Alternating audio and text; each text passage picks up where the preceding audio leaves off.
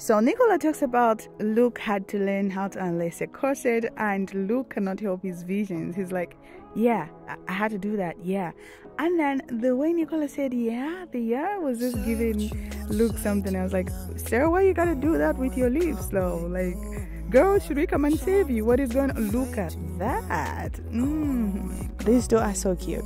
So Nicola gets gets questioned in this other video um, about her biggest pinch moment, and the first thing she begins to talk about is Lukey Newts. That's like her AKA for him. It's just so cute, and somebody it's like a pet name for for Luke at this point. I just believe she was sending a message back to Luke by expressing herself in this situation.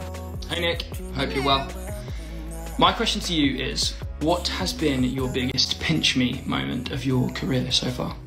Luke Newton is the sweetest person in the whole world. I'm so happy that he is the one Penelope's in love with because he's just a joy to be around all the time. So Lukey Newts, uh, I've had many, many pinch me moments.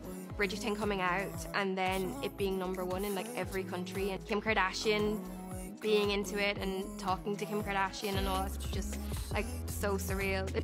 Kim Kardashian posted, I will wear this title proudly and not let you down, Lady Whistledown. To which Nicola replied that Lady Whistledown is very happy. But do you guys think that sometimes Nicola and Luke get it heated and that makes the connection even stronger?